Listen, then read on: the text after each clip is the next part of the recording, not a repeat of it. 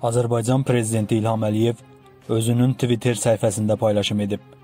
Dövlət başçısı bu sözləri yazıb. Bu gün Azərbaycan ordusu Madagizdə Azərbaycan bayrağını qaldırdı. Madagiz bizimdir, Qarabağ Azərbaycandır.